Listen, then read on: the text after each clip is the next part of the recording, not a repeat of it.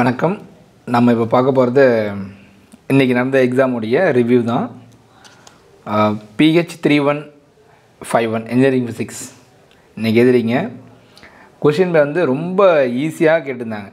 So easy and one more பார்த்தீங்கன்னா நம்ம ஒரு part B questions important sixteen மார்க்ஸ்லாம் post பண்ணியிருந்தேன்.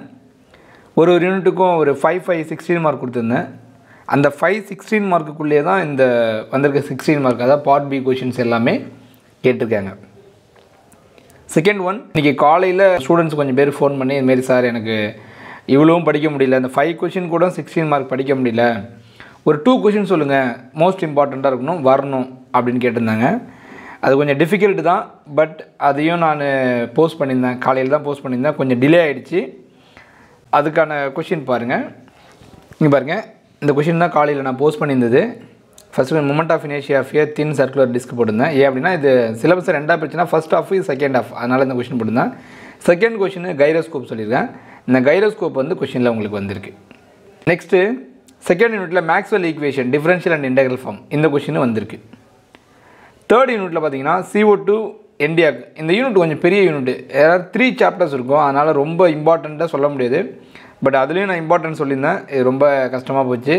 சிஓ டூ என்டிஒய்ஹெச் கேட்டிருக்கலாம் ஆனால் அது கேட்கல ஏர்வெஜும் கேட்கல அவங்க கேட்டது வந்துட்டு பார்த்திங்கன்னா அவங்களுக்கு ஆசிலேஷன்லேருந்து கேட்டிருந்தாங்க. ஸ்டாண்டிங் வேவ்ஸ் கேட்டாங்க. இதுலேயும் பார்த்தீங்கன்னா லேசரில் பார்த்தீங்கன்னா ஏபி கோஎஃபிஷியன் கேட்டாங்க. சரிங்களா? அது பார்த்துக்கலாம் அடுத்து ஃபோர்த் யூனிட் பாருங்களேன். ஃபோர்த் யூனிட்டில் ஸ்ட்ராடஞ்சர் வேவ் ஈக்குவேஷன் சரிங்களா? ஃபஸ்ட்டு கொஷின் அதாவது ஃபோர்டீன் ஏ வந்து ஸ்ட்ராடஞ்சர் வேவ் ஈக்குவேஷன் தான். பி வந்து உங்களுக்கு பார்ட்டிகல் ஒன் டைமென்ஷன் கேட்டிருந்தாங்க. நெக்ஸ்ட்டு ஃபிஃப்த் யூனிட் பார்த்தீங்கன்னா ஃபஸ்ட்டு கொஸ்டின் ஹார்மானிக் ஆசிலேட்டர் கொடுத்தா செகண்ட் கொஷின் வந்து scanning tunneling microscope scanning tunneling microscope வந்துருச்சு. பாருங்கள் பாருங்க நம்ம எவிடன்ஸாகவே இருக்குது ஃபஸ்ட்டு கொஷின் வந்து ஸ்கைரோஸ்கோப் ஸ்கைரோஸ்கோப்பு நம்ம சொல்லியிருந்தோம் அது வந்துருச்சு. செகண்ட் யூனிட்டில் Maxwell equation differential and integral form அந்த கொஷின் கேட்டிருக்காங்க. தேர்ட்டீனில் தான் வரல அது ரொம்ப வருத்தமாக இருந்துச்சு. இங்கே பார்த்தீங்கன்னா ஐன்ஸ்டீன் ஏபி கோஎஃபிஷியன் கேட்டாங்க. ஃபோர்த் யூனிட்டில் பார்த்தீங்கன்னா ஸ்ட்ராடிஞ்சர் வேவ் ஈக்குவேஷனு இங்கே பார்த்தீங்கன்னா ஒன் டைமென்ஷனில் ஃபிஃப்த் யூனிட்டில் ஸ்கேனிங் டனலிங் மைக்ரோஸ்கோப் இங்கே க்ரானி பென்னி மாடல் ரைட் நம்ம பாஸ் ஆகிருவோமா அப்படின்னா எல்லாருமே பாஸ் ஆகிருவீங்க ஆனால் நீங்கள் எப்படி எழுதிருக்கீங்கன்றதை பொறுத்து தான் நம்ம பாஸாக என்னன்றது சொல்ல முடியும். இப்போ கைரோஸ்கோப் பொறுத்தளவு அது கொஞ்சம் சின்ன கொஷின் தான். சரிங்களா? நீங்கள் நல்ல டயக்ராம் நல்லா நீட்டாக போட்டுட்டு principle construction working disadvantages advantages applications இது வரைக்கும் எழுதியிருந்தீங்கன்னா ஓரளவுக்கு உங்கள் லாங்குவேஜில் இருந்தாலும் ஒன்றும் தப்பு கிடையாது. இது எல்லாத்தையும் கம்ப்ளீட் பண்ணியிருந்தீங்கனாலே கண்டிப்பாக டுவெல் டு ஃபோர்டீன் மார்க்ஸ் கொடுத்துருவாங்க. அதாவது கரெக்டாக எழுதலைனா கூட சொல்கிறேன் உங்கள் லாங்குவேஜில் இருந்தாலும் டுவெல் டு ஃபோர்டீன் மார்க்ஸ் வந்துடுவாங்க ஒரு டுவெல் மார்க்ஸ் கண்டிப்பாக மினிமம் டுவெல் மார்க் வந்துடும் இல்லை இன்னொரு உங்களுக்கு கிஃப்ட் என்னென்னா உங்களுக்கு கொஷின் எதுவுமே பிரித்து கேட்கல. எப்பவுமே எப்படி கேட்பாங்கன்னா சம்டைம்ஸு எயிட்டி எயிட்டாக கேட்பாங்க டுவெல் ஃபோராக கேட்பாங்க டென் சிக்ஸாக கேட்பாங்க. ஆனால் உங்களுக்கு அப்படி கேட்கவே இல்லை.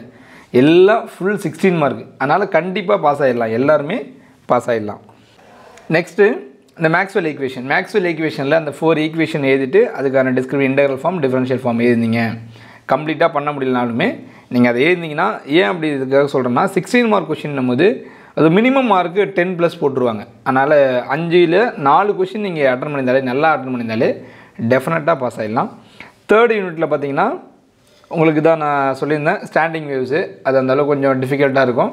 ஸோ அது டிஃபிகல்ட்டாக இருந்தாலும் நீங்கள் ஐன்ஸ்டீன் ஏபி கோஎஃபிஷியன்ட் ஏறலாம். Stimulated absorption spontaneous emission stimulated emission இது மூணையும் எழுதிட்டு அதுக்கான மூணு டயக்ராம் போட்டிங்கன்னா வேறு நீங்கள் ஈக்குவேஷன் கூட எழுத தேவை கிடையாது.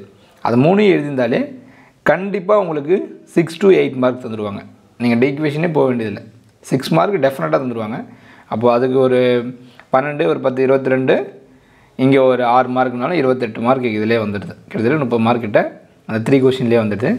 ஃபோர்த்து பார்த்தீங்கன்னா ஃபோர்டீன் ஃபோர்டீன் கொஷினுக்கு பார்த்தீங்கன்னா கொஷின் வந்து டூவை கேட்டிருக்காங்க. இதில் ஒன் வந்து டைம் இண்டிபெண்டன்ட் செகண்ட் வந்து டைம் டிபெண்டன்ட் இது எப்படி கேட்பாங்கன்னா டென்னு சிக்ஸ் கொடுப்பாங்க. சரிங்களா? டைம் இண்டிபெண்டன்ஸ் டென் மார்க்கும் இதுக்கு சிக்ஸ் மார்க் அப்படி தான் கொடுப்பாங்க. தென் இங்கே பார்த்தீங்கன்னா ஒன் டைமென்ஷனல் பாக்ஸ் இதுவுமே ஒன்றும் பிரச்சனை இல்லை. நீங்கள் ஆல்ரெடி எழுதியிருப்பீங்க. டெஸ்ட்டில் நிறைய எழுதியிருப்பீங்க. இதில் நீங்கள் இந்த நார்மலைசேஷன் வரைக்கும் எழுதணும்னு அவசியம் கிடையாது. ஏன்னா அவங்க வந்து நார்மலைசேஷன் வரைக்கும் கேட்கல. ஐஎன் ஃபங்க்ஷன் ஐஎன் வேல்யூஸ் அந்த ரெண்டு டயக்ராம் இருக்கும். அந்த டயக்ராம் போட்டுட்டிங்கனாலே முடிஞ்சிச்சு. அது கண்டிப்பாக டுவெல் ப்ளஸ் மார்க் தந்துடுவாங்க அடுத்தது ஸ்கேனிங் டனலிங் மைக்ரோஸ்கோப் அது அடிக்கடி நீங்கள் எழுதிருக்கீங்க நிறைய முறை டெஸ்ட் எழுதிருப்பீங்க ஸ்கேனிங் டனலிங் மைக்ரோஸ்கோப் பொறுத்தளவு பெரிய நல்ல diagram neat diagram content principle construction diagram working advantages disadvantages applications so இந்த கண்டென்ட் ஒரு செவன் பாயிண்ட் எழுதிட்டு அந்த சப்டாபிக்கில் அந்த செவன் பாயிண்ட்டையும் நீங்கள் ஃபில் பண்ணியிருந்தீங்க. டயக்ராம் கரெக்டாக இருந்துச்சுன்னா ஒன்றும் பெருசாலாம் படித்து பார்க்க மாட்டாங்க.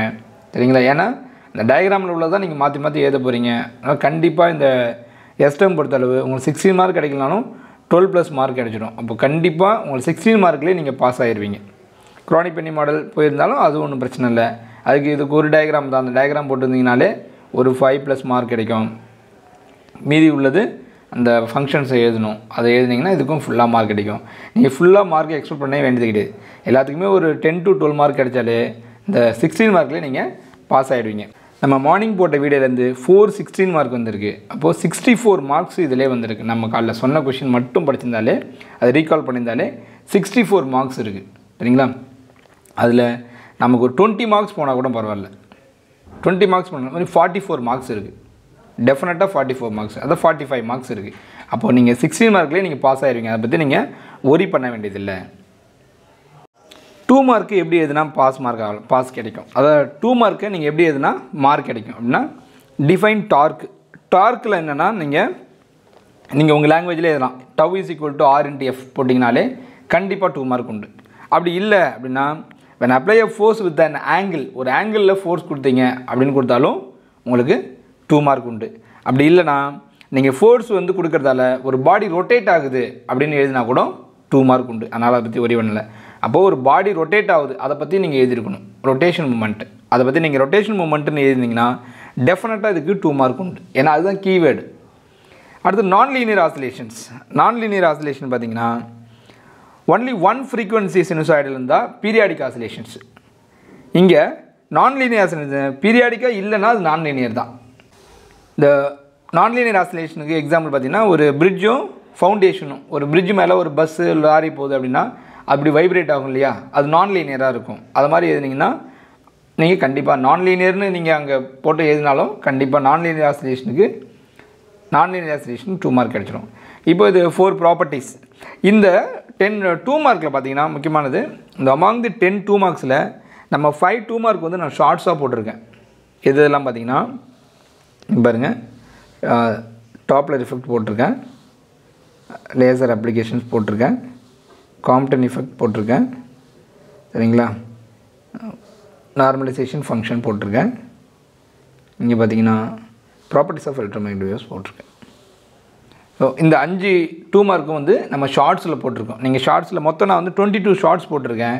இந்த டுவெண்ட்டி டூ ஷார்ட்ஸில் ஃபைவ் டூ மார்க் இருக்குது. அப்போ டுவெண்ட்டி டூ ஷார்ட்ஸும் டுவெண்ட்டி டூ மினிட்ஸ்னு வச்சுக்கோங்க. டுவெண்ட்டி டூ மினிட்ஸ்லேயே நீங்கள் டென் டூ டென் மார்க்ஸ் வந்து நீங்கள் ஸ்கோர் பண்ணலாம். இப்போ ஷார்ட்ஸையும் நீங்கள் அவாய்ட் பண்ணாதீங்க. டூ மார்க்ஸு ஈஸியாக அதில் வந்து படிச்சிக்கலாம். Four applications sir any four properties நீங்கள் ஏதாவது ஃபோர் ப்ராப்பர்ட்டி இது மீடியம் தேவை கிடையாது.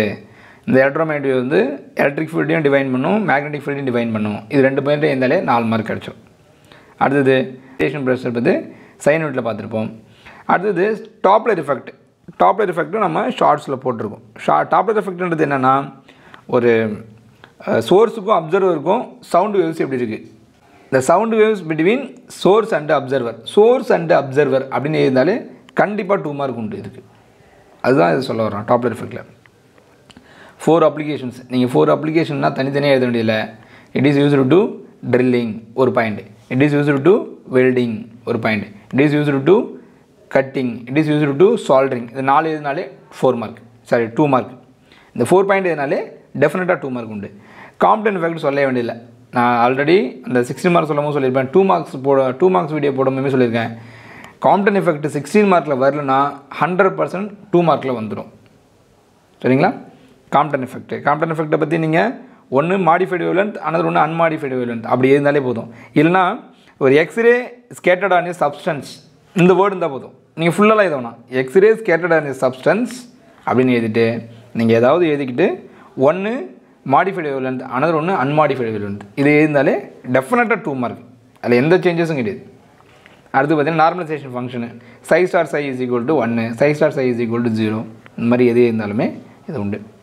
Harmonic oscillator harmonic oscillator already நிறைய வாட்டி பார்த்துருப்பீங்க. ஹார்மானிக் ஆசிலேட்டர் என்னென்னா a particle undergoes simple harmonic motion இதான் ஹார்மானிக் ஆசிலேஷன் ஒரு பார்ட்டிகல் சிம்பிள் ஹார்மானிக் மோஷன் ஆச்சுன்னா ஹார்மானிக் ஆசிலேட்டர் அவ்வளோதான் குவாண்டம் டனலிங்கிறது இட்ஸ் ஸோ சிம்பிள் இந்த particle penetrate through potential barrier இந்த particle penetrate through the potential barrier இவ்வளோ தான் டூ மார்க் இதுக்கு. சரிங்களா? கண்டிப்பாக இது எல்லா கொஷின் நீங்கள் அட்டன் பண்ணிப்பீங்கன்னு நினைக்கிறேன். அதே போல் நம்ம போட்ட வீடியோஸு சிக்ஸ்டீன் மார்க்குக்கும் போட்டிருக்கேன் டூ மார்க் ஷார்ட்ஸும் போட்டிருக்கேன். சரிங்களா? உங்களுக்கு வேறு ஏதாவது வீடியோஸ் வேணும் அப்படின்னா கமெண்ட்டில் சொல்லுங்கள் இப்போ நம்ம போட்ட வீடியோஸால் கண்டிப்பாக நீ பாஸ் ஆகிருவீங்க அப்படின்னா நீங்கள் கமெண்ட் செக்ஷனில் சொல்லுங்கள் தேங்க்யூ ஸோ மச்